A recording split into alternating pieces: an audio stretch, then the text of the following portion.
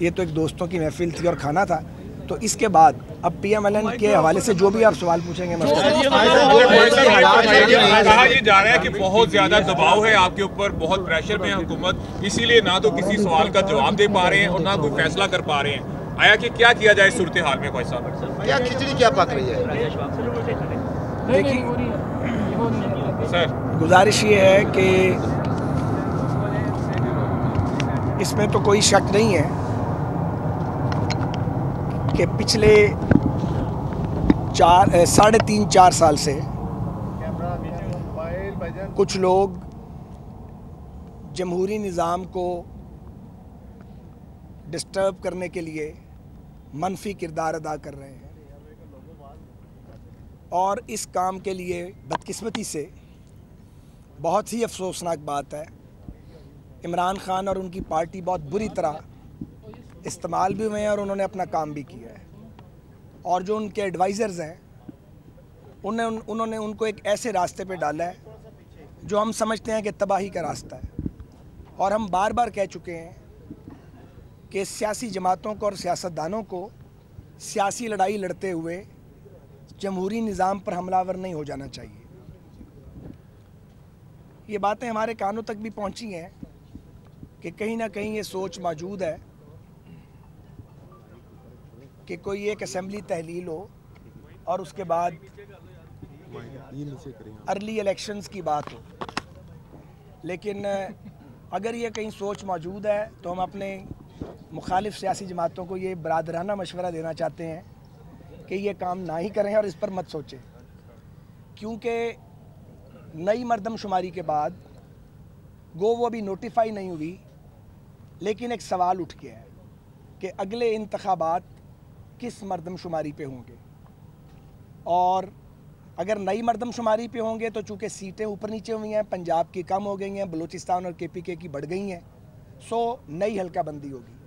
اور چونکہ پروینل مردم شماری ہوئی ہے تو اب آئینی ترمیم لازم ہے۔ آئینی ترمیم کے لیے ہمارے پاس سینٹ میں میجورٹی نہیں ہے، وہ ہم پیپلز پارٹی کے بغیر نہیں کر سکتے۔ سو اس وقت موجودہ حالات میں آصف سرداری کی پیپلز پارٹی میں پیپلز پارٹی نہیں کہہ رہا۔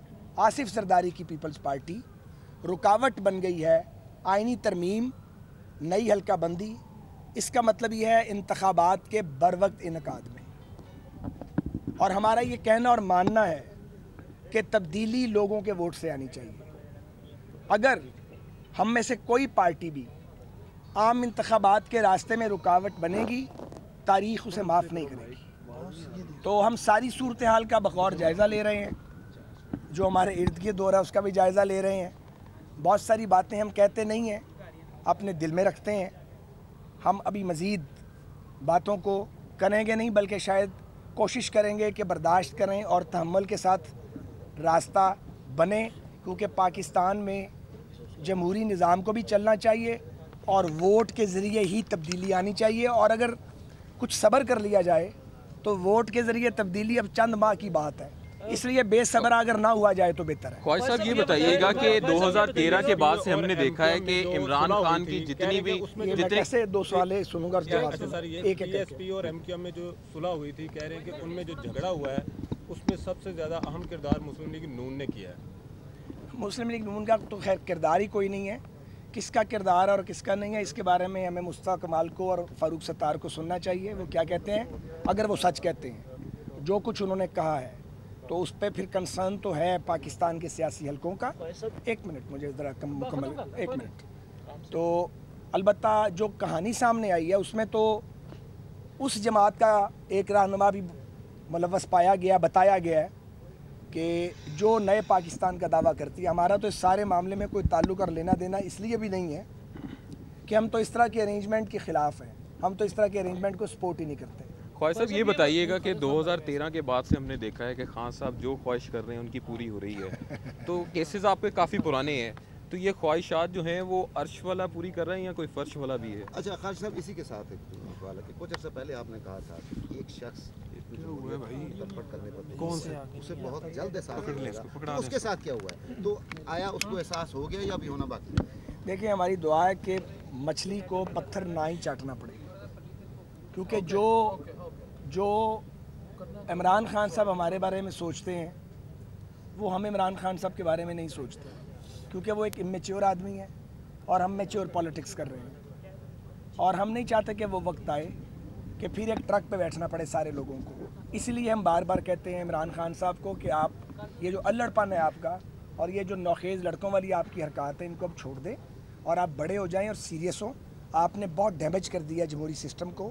اور بہت زیادہ آپ نے گند ڈالا ہے سیاست کے اندر۔ لیکن اس وقت سب سے زیادہ جو پرسرار رویہ ہے وہ آصف علی زرداری کا ہے۔ اور وہ کیا سوچ رہے ہیں؟ وہ کیوں اپنی پارٹی کو کوئی جائز آئینی ترمیم بھی نہیں کرنے دیتے؟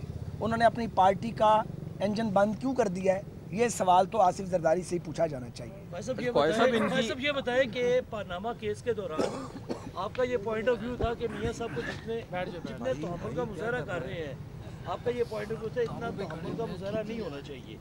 اب کل سے مائٹ بھی حدیبیہ پیپر ملز کھلنے جا رہا ہے۔ شاید جو بھی فیصلہ آئے گا۔ اگر حدیبیہ کے اوپر بھی سماعت شروع ہو گئی، تو کیا سمجھتے ہیں یہ سیاسی گراؤنڈ پہ کس طرف لے کے جا رہی ہے شریف فیملی اور نون لیگ کو؟ دیکھیں، بات یہ ہے کہ ہمارا یہ بالکل سوچا سمجھا مسلم لیگ نون کا موقف ہے اور بہت اس کا بھی افسوس ہے کہ ہم نے تو ایک بہت بڑی تحریک چلائی تھی اور آگے لگے تھے۔ عدلیہ کے وقار کی بحالی اور آزادی کی تحریک اور اس میں ہم نے جیلیں کاٹی تھیں۔ اور جن جج صاحبان کی بحالی کے لیے ہم لڑے تھے، ان سے ہمارا کسی کے ساتھ کوئی رشتہ نہیں تھا، کوئی عزیز داری نہیں تھی، کوئی دوستی نہیں تھی، ایک اصول کے لیے لڑے تھے اور لیڈ کیا تھا نواز شریف صاحب نے۔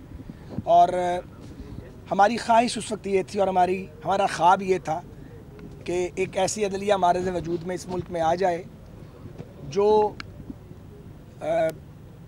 کسی بھی حکومت کے کسی بھی دباؤ کو خاطر میں نہ لائے۔ اور حکومتوں کے علاوہ بھی کسی دباؤ کو خاطر میں نہ لائے اور ایک آزادانہ فیصلے ہوں۔ لیکن نواز شریف صاحب کا جو فیصلہ ہے اور اس سے پہلے یہ یہ بات اب میری ذاتی موقف ہے جو میں کہنے لگا ہوں۔ یوسف رضا گیلانی صاحب کا فیصلہ اس میں بھی بطور پولیٹیکل کامریڈ کے مجھے بہت تشویش ہوئی تھی کہ یہ کیا ہوا ہے۔ اور اس کے بعد اب جو نواز شریف صاحب کے بارے میں عدالت عظمہ کا فیصلہ آیا ہے، اس سے بھی یقیناً پاکستان کے جمہوری حلقوں میں بہت زیادہ سوالیہ نشان اٹھے ہیں۔ اور جس طریقے سے اجلت کا مظاہرہ کیا گیا، فیئر ٹرائل کا ہم سمجھتے ہیں، ہمیں موقع نہیں ملا۔ اور ہم یہ سمجھتے ہیں کہ جو فیصلہ آیا ہے، وہ انصاف کے تقاضوں کے منافی ہے۔ اور اب یہ جو ہدیبیہ پیپر مل، ہدیبیہ پیپر مل کا شور ڈالا گیا ہے۔ یعنی ایک ایسا مقدمہ جسے عدالت عالیہ اس پہ کئی سال پہلے فیصلہ کر چکی ہے۔ اس کو ری اوپن کرنا اور پھر انہی راستوں پر چلنا جن راستوں سے ہم پہلے گزرے ہیں۔ اور اسی طرح ایک اکاؤنٹیبلٹی کورٹ پہ ایک آنریبل سپریم کورٹ کے جج صاحب کو نگران مقرر کرنا۔